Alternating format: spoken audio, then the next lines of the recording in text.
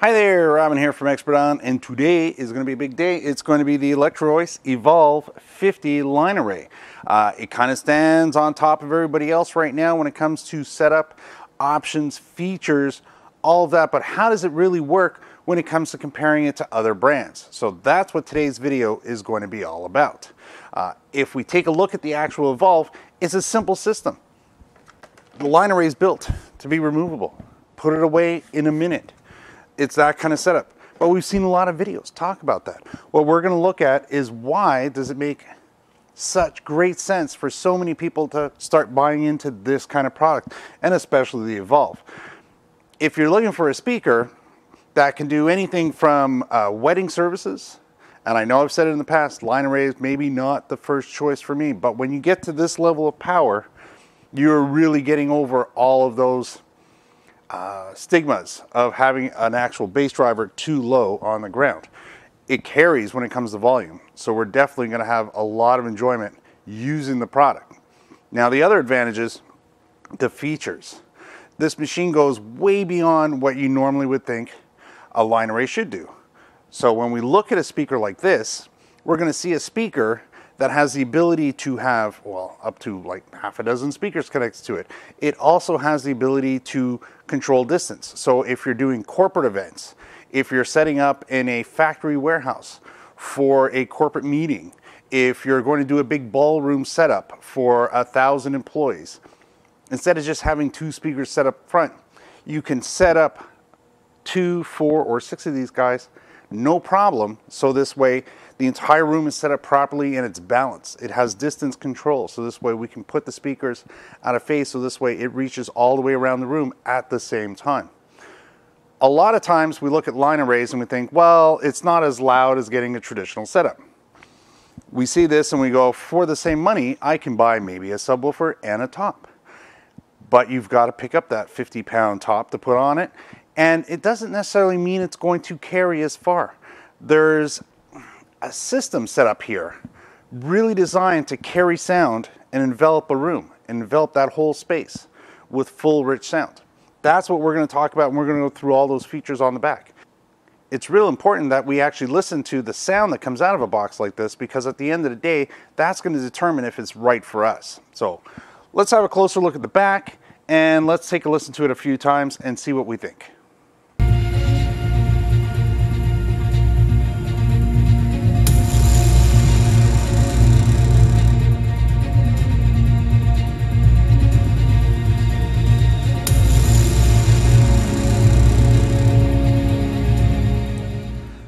So here we go. This is the back display. Not too unfamiliar because it does have a lot of similarities to a lot of other models, but the important part is what goes on right up here. We've got the quick smart DSP setting. Now, this is where we're going to be able to do things like utilize the Bluetooth that's built into the machine, be able to adjust the actual line levels when it comes to the mid, bass, and treble controls. It also has a nice mid-level control. So when we're at the table, we'll take a closer look at that. It also has built-in phantom power, so if you want to use condenser microphones, you can do that. So you're not just stuck with dynamic. Now, they also incorporate a delay feature, so if you're setting up speakers, let's say at a big corporate event where you've got speakers to the left and right of the stage, but to balance out the sound, you've added two more speakers halfway down the side of the room. It allows you to add distance, so this way it actually arrives to everybody in the back of the room at the same time adjusting the delay settings. So that is a really big important feature. Now, if we move across the actual unit, you've got your control panel, which allows us to use the actual unit itself for the display purposes. And it allows me to actually control features like Bluetooth, music settings, all of these great little features that are built inside. And again, when we go to the table, we'll look at that in much more detail. Next to it, we've got our line microphone control. So at 12 o'clock, we're at 0 dB, which is probably around where our line level is going to be. And then we switch over into the mic mode. Same thing happens on line 2. They also utilize combo jack. So I can now insert either a quarter inch or an XLR. That's why the three little pins. So don't get confused. If you don't see just the three pin setup, this is a combo jack. Both quarter inch and XLR. Then we have our auxiliary line, which is also where our Bluetooth is located, but we do have RCA plugs and 3.5 for convenient, easy setups. So if you're just doing a ceremony or a service with a speaker, Though the speaker itself might be overkill for it, it can do the job no problem because everything's built in. You don't need special adapters uh, and connectors to make that happen. Anything you've got in your bag of cables are going to work on this unit, regardless if it's XLR, quarter inch, RCA, or 3.5. Now on the output, they have two of them. They have the mix out, which we have some variable controls up here that can control that. And we have a through. So this way, exactly what comes in here comes out there. So if I am hooking a bunch of these in series, I can easily do that without having to get too complicated with what's going on up here. So let's take a listen to it and see what we think.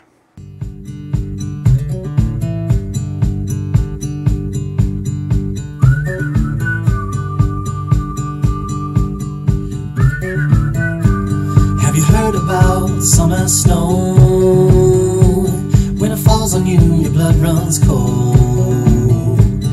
But don't you sweat your pretty skin, cause it melts away for it sinks in. And you dream about this very night.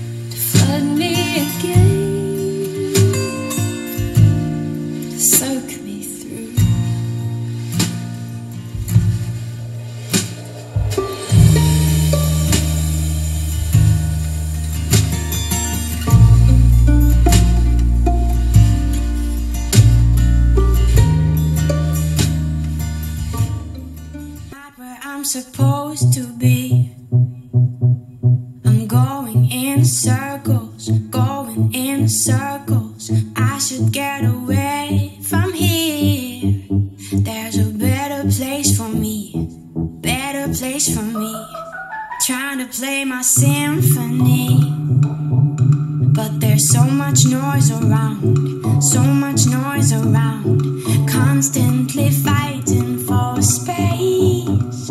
I need to clear my mind. Need to clear my mind.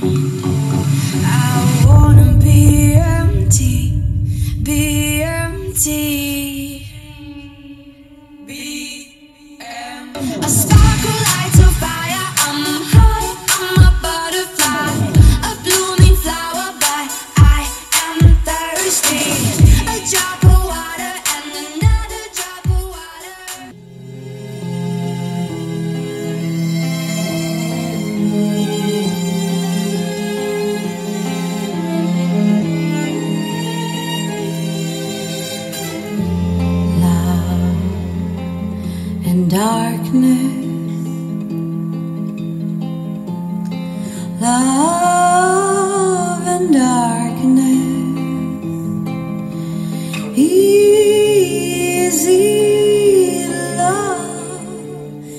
All right, so here we are back at the table. Before we actually go over all the features of the speakers themselves, how they're set up, what they're built out of, craftsmanship, all the features that we find on the back side of it, including the actual quick smart display setups, we're going to talk about the actual app because this speaker also has Bluetooth, but it's not just for driving music, it's also for controlling the speaker. So all of that can be done through the app via Bluetooth wirelessly.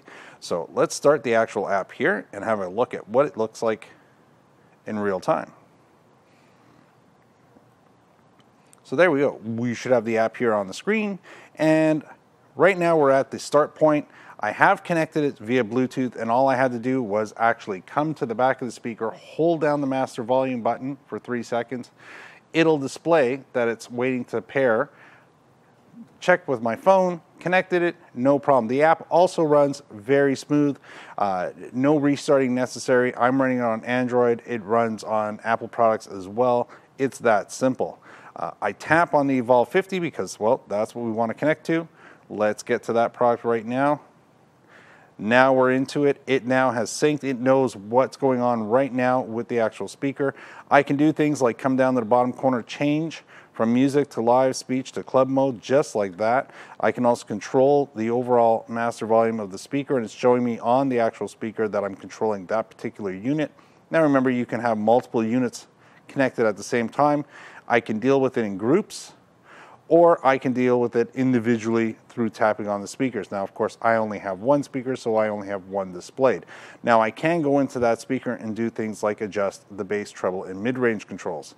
Uh, nice part is, is that every time you hit right down neutral, it'll automatically uh, give you a little vibration in the phone, so this way you know it's working properly. It's pretty much straightforward, easy. If I had multiple speakers connected, I'd be able to adjust uh, delay for distance, and I just it's just measured in feet or meters. It's pretty straightforward in that sense. So that's a nice feature as well.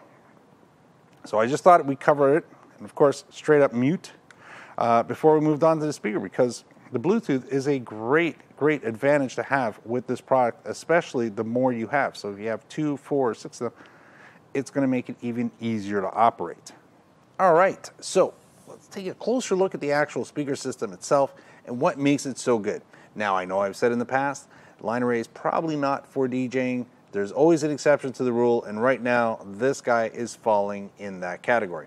Now, if I'm doing something where I would traditionally have brought out uh, two 15 inch or two 18 inch subs and threw some 12s on top because I really wanted the bass, then maybe I wouldn't buy this. But remember, the music we're playing here and the videos that we're capturing, I mean, they don't even count for like 30% of the actual bass coming off of this. This is a 12 inch subwoofer and it does pack 500 watts of power to get it going. So, definitely a ton of driving power. Now, there's lots of features in the back, and one of the nice features about this is I can actually increase the gain on the sub separately from the top, which means I can decide I want more bass than mids and highs out of the full range system on top. So that's a big plus. So far, I haven't seen that on any others. Not saying it's not out there, but I'm saying that is a great feature if you're thinking about using this professionally as a DJ. Now, that being said, they do make it out of wood, which does add to the overall weight of the system, uh, but wood gives it the right density it requires to actually drive the system. Now, they also wanted to make this a very robust system, so this way it wasn't going to feel cheap or uh, you know let you down because the connection wasn't as good as you thought it would be. Remember, on a commercial grade, full size setup, you can get a whole bunch of these set up. You can offset it if you're doing those big conferences and you need to put some down and around the entire banquet hall. You can do that because you can link up the distances. You might add something like a wireless system from Alto, like their total package, which gets you that you know 200 foot run down the side or 150 feet off the left and right. Wirelessly, no problem. Just add that feature onto it and you're good. Remember, that's a separate buy. But if you're investing this kind of money, you might want to add that on. Now, the tops, tops are just phenomenal. So, this guy right here, eight speakers. So again, a lot of them, uh, a lot of the entry level, we'll call it pieces. I'm not going to say. We're going to say, you know, things that you might just use in a pub or a bar or, or in a coffee shop, something like that. They'll have four. A good one will have six. This one has eight, featuring eight neodymium drivers. Now they're full range drivers, and these are unique drivers. These drivers were meant to project a ton of sound, and when you stack eight of them together, well, that's like replacing, you know, a couple of 15s easy for driving distance. Now, at the same time, it wouldn't be a line array if we didn't fill in the bottom, and that's why we have the taper coming in. So now people up close have great sound coverage, people far away have great sound coverage, and everybody in the middle. Also, it's designed to flare out really far. So where a traditional speaker, you're going to have a 60 by 90, uh, so 60 vertically and 90 horizontally. This one goes up to 120. Now it's only 40 on the vertical. I don't quite get that part, but 120 on the horizontal, which is really what it's all about. It's about filling in that entire space, making sure everybody hears what's going on. So that's what's going on. It does have some substantial weight, so it's going to be projecting the sound forward, not back, so it's not going to be shaking and, and just losing energy. It's going to do a job really well. It's molded and it looks really nice. So when you take it out of the bag, it's going to look very professional when you set it up. And a very thick grill cover setup on it in their traditional pattern, which you know is a nice add-on. So from there, you end up with the mid piece, which is the pole, which comes in two settings. Uh, so when you order it, make sure you're getting the right one you want. This is, you know, a standard package is going to have this pole is going to get the whole speaker set up close to seven feet tall, um, and it's reversible. Now, if you own a line array, you've been to stores where they have line arrays. They're normally, you know, if you're lucky, they're stacked, and uh, you can, you know, adjust it. But with this, they put a large, large insert on it. Uh, they put it magnetic, so this way it stayed put.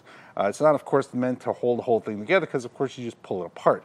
But the inserts drop in really well that way, and it does have a good lock feel to it. So when it's dropped in place, you know it's there. It's slid all the way down the pipe, no problem. Uh, this is all made of extruded aluminum. Uh, so again, it just feels really good and it stays straight and you're not gonna break this without putting a ridiculous amount of effort into it. You probably break everything else before that. Uh, same thing goes with the box. Very, very robust, very, very solid. Uh, the top has a nice taper to it to receive the pole. Everything straightforward. Nice handles, handles on the side, make it easier to carry. And the option kits are really good. You can get a shorter pole, you can get a rolling bag cart for this guy, you can get a jacket for this guy. It does include the case for the actual pole and the top. And you can even buy a shorter pole, so if you're doing a small setup at a cafe, you can do that. So those are the big, big pluses. And like I said, this it's like you're going to come out of the gate, you're going to put your, your best foot forward, and that's what Electro Voice did when they made the Evolve 50. So, are we going to see something like maybe an Evolve 35 come down the pipe? Maybe, because you know there's a market for at least two more models uh, below this. Uh, they set the bar so high with this guy, they definitely can come in with a unit with a little less power, lighter weight dramatically, easier to use for, for bars, pubs, and stuff like that. But if you're going to buy a speaker and you want you want to make sure you have a speaker for tomorrow and for the next couple of years, and you don't want to have to worry about it, you really can't go wrong with a product like this. Uh, so let's take a closer look at the actual display panel. Electro Voice has a bunch of great videos where they go into detail on how to set up the Bluetooth and all that, but we'll do a little quick review on that now, and uh, we'll see how that looks. All right, so here we are looking at the Quick Smart DSP setting. Right on top tells us our level, and if I dial it up or down, you'll see how that changes. It allows us to get the overall sound of the speaker adjusted via the knob here. Then if we actually have music playing, we actually have indicators at the levels at which we're gonna be playing those three different channel inputs that are on the system. So if I press the button now, we can get in. So that's how we always exit, gets us back to the original menu. And again, we're back in. First thing we see now, this is also shown on our actual app, so we can quick see it on our phone or tablet, and that's the music mode. So we can choose which style we want to have it in. Then we have the sub level control. So this is where I can increase or decrease how much sub. So if I'm going to play it at lower levels, but I do want more bass to it, I can do that here, just like as if you had a regular top and a regular subwoofer. Then we have our traditional treble, mid-range. This is exciting, a mid frequency. This means that I can actually change where I'm actually going to be pulling up and down the mid-range. Uh, it really helps me tweak the sound, especially if you're trying to work around some feedback. This is really nice. So then you have bass control, Phantom power. So now, not everybody's always going to be using a dynamic microphone. You may have a condenser microphone. You may have to turn phantom power on and off. So instead of having a separate mixer, because you need to run that, you can now run that right into it.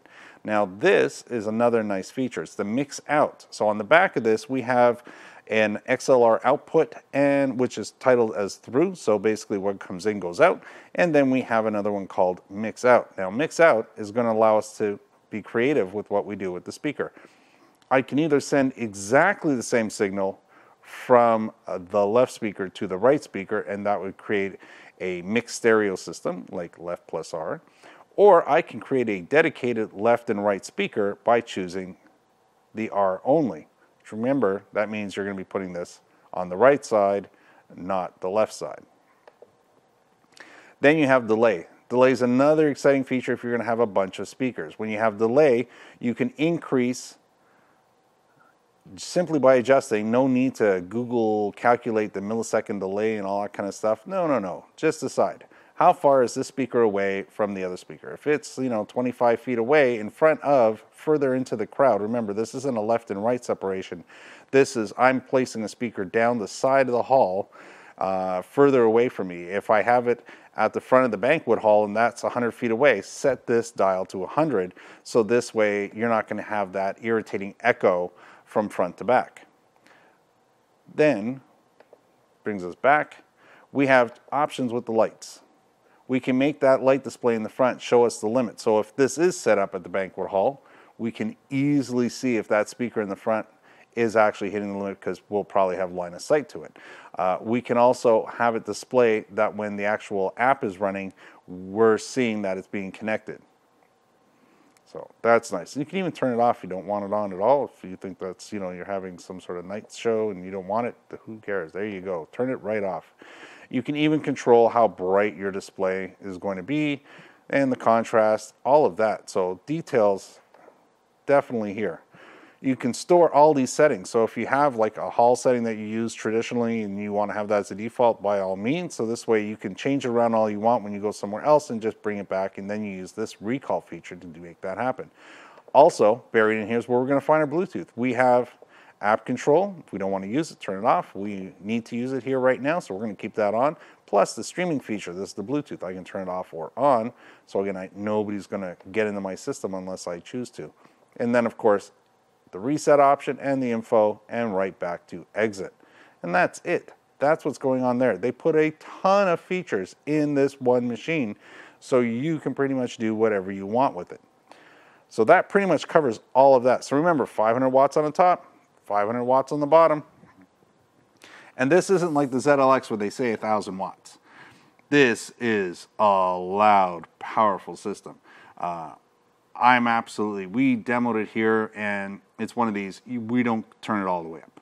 There's no demoing it at full volume.